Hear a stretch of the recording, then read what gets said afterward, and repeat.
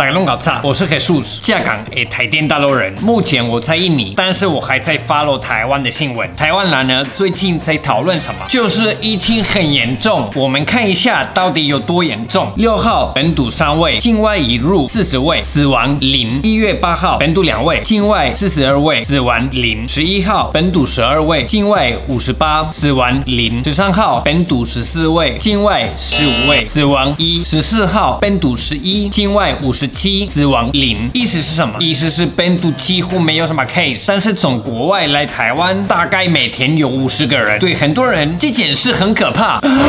为什么呢？首先是因为没有什么角度。什么意思？因为没有跟其他的国家比较，例如呢，一月十三号台湾的确诊六十五位，你可能觉得很可怕，但是印尼有八百个人，日本一万八一天内，英国十万，西班牙十五万，法国三十万，美国快八十万一天，这个跟台湾是不能比较。国外吼，包含我现在的印尼，疫情再严重，台湾还是非常的安全。不过呢，我发现一件事，不管数据证据多清楚，大部分的台湾人还是不管，因为理性思考不如凭感觉。台湾人很容易害怕，也非常喜欢凭感觉，跟感情差不多了，感觉最重要，是不是？所以我发现，不管在我的影片我说多清楚，没有人在听。你们有没有考虑我的感觉？我的感觉非常靠背，所以呢，我放弃。台湾疫情还是很可怕，OK，很可怕。但是台湾很严重，很严重啦，OK，你赢了，随便你，非常严重，疫情爆发，爆发了。对啦，你对，台湾的六十五跟西班牙的十六万差不多，靠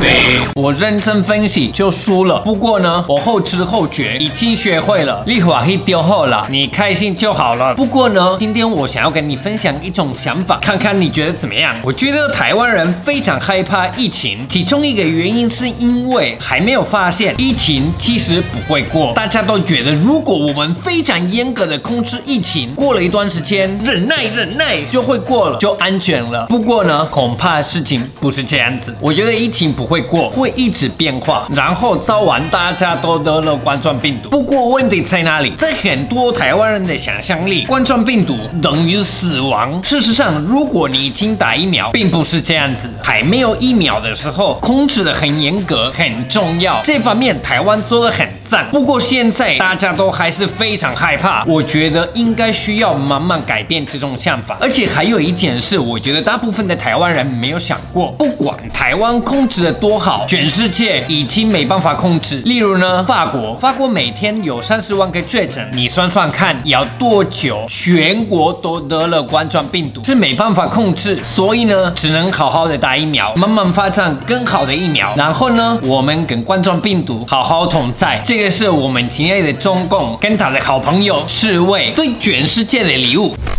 I was so impressed in my meeting with President Xi at his detailed knowledge of the outbreak and for his personal leadership, but also at his commitment from the words he told me I will share with you.